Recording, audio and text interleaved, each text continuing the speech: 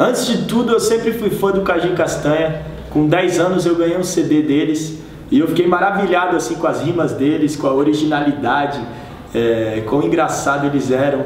Já tinha um pandeirinho lá em casa, estava aprendendo a tocar e tocava o pandeiro e fazia rima tentando imitar o Caju Castanha.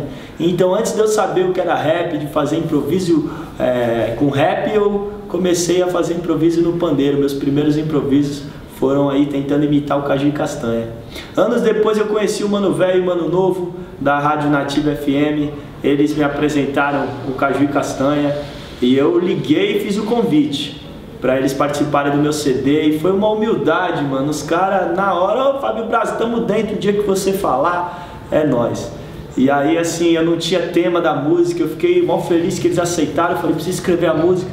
E o meu irmão que deu a ideia do tema, inclusive, de apelido, porque eu acho que o, o povo brasileiro é o povo mais criativo em relação à piada, em brincar, essa maneira que a gente se socializa é única. Eu morei nos Estados Unidos e lá nos Estados Unidos a galera chama a gente pelo sobrenome. O professor me chamava Mr. Azeredo.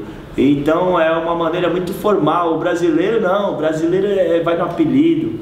E a gente vê isso também no, nos nossos jogadores de futebol. Não é o nome do cara, nem o sobrenome que está na camisa. Muitas vezes é, é, o apelido, é Kaká, é o Robinho, é o Tietê, é Cafu. Então é uma maneira única que o brasileiro tem de, de brincar que só a gente tem e o Caju e Castanha representa muito essa brasilidade, essa alegria, essa originalidade. Então, esse tema acho que combinou muito com eles.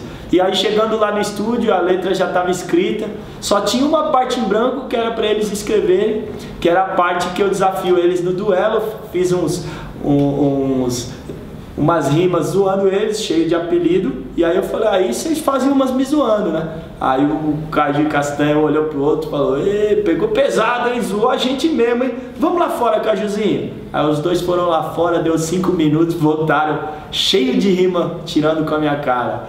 Aí quando eles entraram no estúdio, vai, pode ir.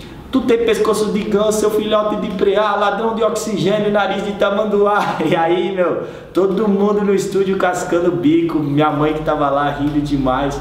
Foi muita vibe, caju castanha, humildade pura, risada do começo ao fim. E a música ficou mais ou menos assim. O povo mais criativo que existe no mundo inteiro é o povo brasileiro, não tem como duvidar. E faz piada e bota logo um apelido, e aí cê tá perdido, não consegue mais tirar. E olha lá, a gente gosta de inventar. E olha lá, e deixa que eu vou te explicar.